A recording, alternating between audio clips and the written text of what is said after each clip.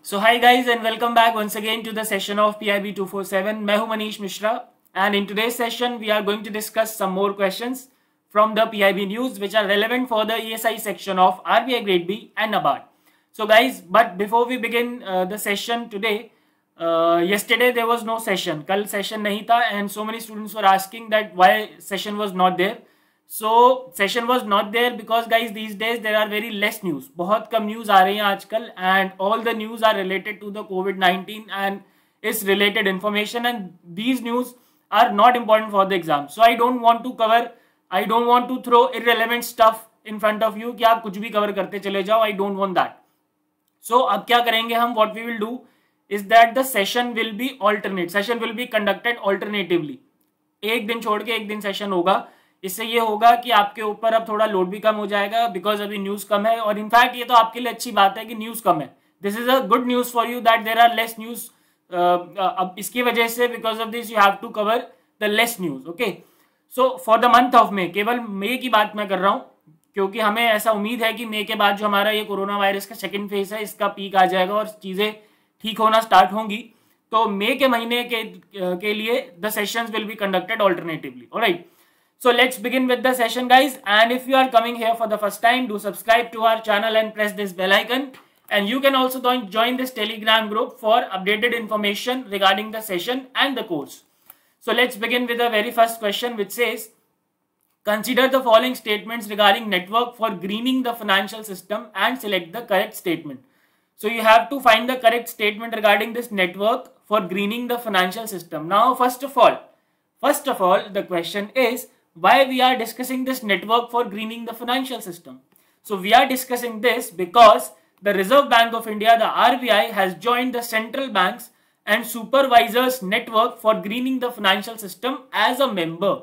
RBI ने Central Banks and Supervisors Network for Greening the Financial System को join कर लिया है as a member. Now, what is this national? Uh, what is this network for greening the financial system? so guys it was launch at the Paris one planet summit on December twelfth two thousand and seventeen and it is basically a group of central bank and supervisors ये central bank और supervisors का group है which are willing to share best practice and contribute to the development of environment and climate risk management in the financial sector financial sector की मदद से environment में जो changes हो रहे हैं, उसको सही करने के लिए और जो भी क्लाइमेट चेंज हो रहा है उसको मिटिगेट करने के लिए it is a group of central bank and supervisors and guys it also seeks to mobilise the mainstream finance to support the transaction towards a sustainable economy okay and moving ahead to the broad objective of this network so, to help strengthening the global response, which is required to meet the goals of the paris agreement with the help of the financial sector. Financial sector की मदद से जो भी हमारा global response है, जो कि हमें पेरिस एग्रीमेंट के टारगेट को अचीव करने के लिए चाहिए, उस फाइनेंशियल सेक्टर की मदद से उसको स्ट्रेंथन किया जाएगा।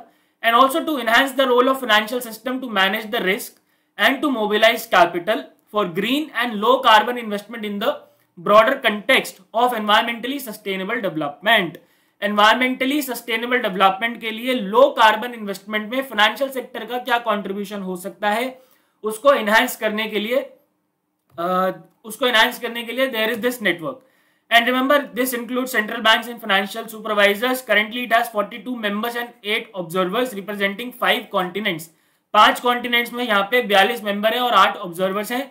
And its secretariat is hosted by Banque de France Banque de France means the Bank of France which is the central bank of France of course and it is headquartered in Paris okay now the question is what is green financing अब green finance का या green financing का मतलब क्या होता है?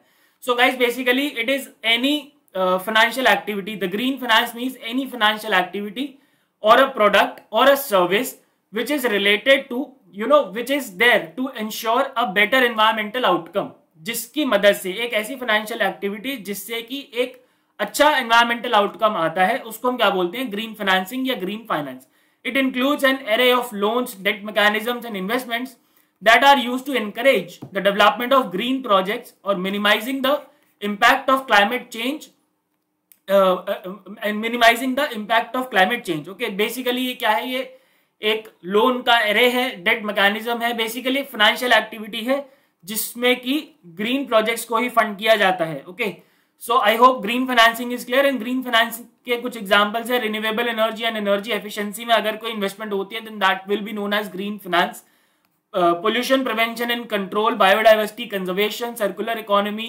initiative sustainable use of natural resources and land so these are some of the examples of projects that can be considered under the green projects and the finance जो भी finance इसमें provide कराया जाता है that is known as green finance right? So i hope this news is clear and now let's come back to the question. You have to identify the correct statement regarding this network. So rbi has joined the central bank and supervisors ngfs as a member. This is absolutely correct. Ngfs was launched at the paris one planet summit on december 12 2017 correct? Absolutely correct. And its secretariat is hosted by bank de france. Yes this is also correct. Bank of france iska secretariat so all the statement guys are definitely correct, which means option E, all are correct will be the correct answer. And before moving ahead to the next question guys, in uh, last to last session I guess I have asked you a question, what is the difference between FDI and FPI? so, कुछ लोगों ने answer दिए थे कुछ लोगों ने answer नहीं दिए थे तो जिन्होंने नहीं दिए थे उनके लिए मैं बता देता हूँ FDI guys is the investment. It is the investment in an asset. Asset like machinery or a company F FDI is the investment in an, in a tangible asset like machinery or a business. Business form या किसी machinery में अगर कोई investment होता है and that investment should be more than ten percent of the total amount of this machinery और that business value जो भी बिज़नेस की टोटल वैल्यू है या जिस भी बिज़नेस में हम इन्वेस्ट करने जा रहे हैं, उसके टोटल वैल्यू का दस परसेंट से ज़्यादा होना चाहिए more than ten percent and of course this asset should be in the different country अगर मैं यहाँ का हूँ मैं इंडिया का हूँ और अगर मैं अमेरिका में इन्वेस्ट करता हूँ तो that will be known as F D I right now what is the what is F P I then so F P I is the investment in the financial assets now financial assets means what stocks हो गए bonds हो गए mutual funds हो गए। तो अगर मैं किसी दे, दूसरे देश की कंपनी के स्टॉक्स को बॉन्ड्स को या म्यूचुअल फंड्स को खरीदता हूँ and the investment is less than ten percent investment कितना है मेरा? लेस देन टेन परसेंट है then that will be known as foreign portfolio investment F P I so I hope the difference is clear And now let's move ahead to question number two. Scientists of which educational institute have applied the susceptible, undetected, tested and removed approach which in short is Sutra model to predict the COVID graph in India. हमारे देश के COVID graph को predict करने के लिए एक model employ किया है एक मॉडल अप्लाई किया गया है by the scientist of some one or more IIT right so you have to identify which IITs are this So remember guys, the IITs are IIT Kanpur and IIT Hyderabad. So scientists from IIT Kanpur and IIT Hyderabad have applied this model which is known as Sutra. And remember the full form of Sutra also, susceptible, undetected, tested and removed approach to predict the COVID graph in India. And remember the purpose also. What was the purpose? To predict the COVID graph in India ki kab iski peak aayegi and when will it go down. Alright. And there are three parameters under this model. Teen parameters hai. Number one, is known as the beta or the contract, contact rate. Now, what is the meaning of this parameter? It will measure how many people an infected person uh, infects per day. एक infected person कितने लोगों को एक दिन में infect कर सकता है okay the second parameter is known as reach which is a measure of the exposure level of the population to the pandemic हमारा पॉपुलेशन पैंडमिक पे कितना पैंडमिक से कितना एक्सपोज हो चुका है it is the measure of this And the third one is epsilon, which is the ratio of detected and undetected cases. Of course, there are various undetected cases. There are various people around us who are not going for the test. They have mild symptoms, so they are taking the basic medicines like paracetamol and other basic medicines and they are not going for testing.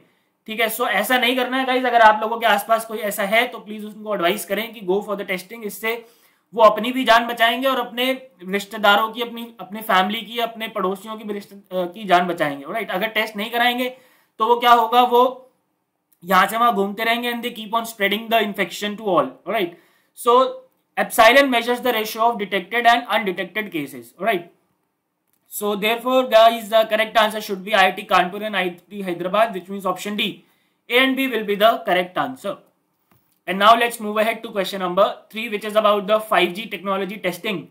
The Department of Telecommunication has permitted the telecom service providers to conduct trials for use and applications of 5G technology along with 5G-I technology. So the question is 5G-I technology has been developed by which organizations or which IIT out of these. So 5G-I technology क्या है इसके बारे में भी हम पढ़ेंगे don't worry. So the news is that the Department of Telecommunication has permitted the telecom service providers for con to conduct trials for the testing of uh, 5G technology. And 5G technology, of course, guys, is expected to deliver a more efficient service than the uh, than the earlier 4G. और ज़्यादा internet की speed होगी there will be more internet speed there will be low latency there will be you know greater spectrum efficiency so इस तरीके की कुछ अच्छी चीज़ें होंगी ऑफकोर्स जब एक लेवल से हम दूसरे लेवल पे जाते हैं तो उसके एडवांटेजेस होते ही हैं। And which are the applicant telecom service provider it's Bharti Airtel limited Reliance Jio Infocom Vodafone Idea and M T N L and who will be the equipment manufacturers अब basically देखो testing में कुछ equipments की ज़रूरत पड़ेगी, ठीक है? There there will be need of some kind of equipments in the testing so for that the manufacturers will be Ericsson Nokia Samsung and C DOT right Ericsson, Nokia, Samsung, and C. Dot will be the equipment manufacturers, and they will be and they will provide equipment for the conduction of trials. And Reliance Jio Infocom Limited will also be conducting trials using its own indigenous technology. Reliance Jio Infocom ने in fact एक अपनी indigenous technology develop करी है keeping in mind the target of make in India उसकी मदद से वो trial conduct करेंगे right duration of trial guys will be six months and it will be conducted across the country and the TSPs, which means the telecom service providers, are encouraged to conduct the trials using 5G I technology in addition to the already known 5G technology. Okay. Now, what is the meaning of this 5G I technology, guys? 5G I technology कोई नई technology नहीं है. It it basically facilitates the larger reach of the 5G towers and radio network. जो 5G के towers होते हैं 5G I technology का जब हम इस्तेमाल करेंगे तो उसकी वो रीच को बढ़ा देगा like, जैसे ये हमारा टावर है ठीक है? और ये लेटेस्ट से यहाँ तक की इंटरनेट सर्विस प्रोवाइड करा रहा है राइट इस एरिया की, पूरे की ये सर्विस प्रोवाइड करा रहा है। So now with the use of five G I technology this reach can be increase okay ये जो रीच है, ये जो स्फेयर है, इसको हम बड़ा कर पाएँगे okay and this has been develop by IIT Madras IIT Hyderabad and centre of excellence in wireless technology these three organisations have developed this and also, international telecommunication union has also approved this technology. And this will be used in the implementation of five G technology to increase the reach of five G जो five G का रीच है, एक tower की मदद से अगर मान लो कि पहले 10 किलोमीटर स्क्वायर एरिया कवर होता था then now with the use of 5G I technology there will be coverage of more than ten kilometre square area let us say 15 kilometre square area cover हो जाएगा okay so this was about this news and now let's come back to the question so the correct answer to this question guys will be IT Madras and IT Hyderabad which means option A one and two will be the correct answer okay? And इसके अलावा centre of excellence for wireless technology ने भी इसको मिलके बनाया है इनके साथ right and now let's come back to question come to question number four and five which is about the production link incentive scheme for food processing industry so it was announce in the Atmanirbhar Bharat package आत्मनिर्भर Bharat package आज भी आपका पीछा नहीं छोड़ रहा है, अभी भी आपके पीछे लगा हुआ है और मुझे लगता है कि वो लगा रहेगा। तो आत्मनिर्भर भारत पैकेज में ये स्कीम अनाउंस हुई थी and now the detailed guidelines have been launched right So let's talk about this scheme. Question number 4 and 5 both are based on the scheme. PLI scheme for food processing industry. The detailed guidelines have been launched and a portal, a portal has also been launched for this scheme. And remember through this scheme, the Ministry of Food Processing Industry is inviting application for availing sales based incentive increment sales जो कि हम पढ़ चुके हैं पहले and grants for undertaking branding and marketing activities abroad. अगर कोई company अपनी ब्रांडिंग और मार्केटिंग एक्टिविटीज़ को अब्रॉड करती है मतलब दूसरे देश में करती है तो उसके लिए ग्रांट्स भी दिए जाएँगे under this scheme which is known as PLI scheme PLI scheme for food processing industry now what will be the duration of this scheme so ये हम पहले भी पढ़ चुके हैं। It will be from 2021-22 which means this financial year to the financial year 2027 total outlay will be 10900 crore and total four sectors मतलब चार segments होंगे to which this uh, to which you know this increment sales benefit will be provided number one ready to cook ready to eat including millet based foods number two processed fruits and vegetables number three marine products and number four is mozzarella cheese okay तो इन चार segments के जो manufacturers हैं जो traders हैं उनको benefit uh, provide कराया जाएगा under the scheme and these are the key highlights of the guidelines that have been release number one is the sales based incentive under the scheme would be paid for six years छह सालों के लिए दिया जाएगा 2021-22 से 2026-27 तक के लिए over the base year on incremental sales over the base year जो भी इंक्रीमेंटल सेल्स होगी, उसको बेस ईयर के हिसाब से मेजर करके छह सालों के लिए सेल्स बेस्ड इंसेंटिव दिया जाएगा। Now what will be the base year सवाल ये है कि बेस ईयर क्या होगा? So for the first four years guys the base year will be 2019-20 for the fifth year the base year will be 2021-22 while for the sixth year the base year will be 2022-23 okay so you should remember these base year also पहले चार साल के लिए base year होगा 2019-20 पांचवें साल के लिए हो जाएगा 21-22 और छठे साल के लिए हो जाएगा 22-23 okay and now applicants will be extended grant at 50% of the expenditure on branding and marketing abroad subject uh, subjected to a maximum grant of 3% of sales of food products or rupees 50 crore per year, whichever is less.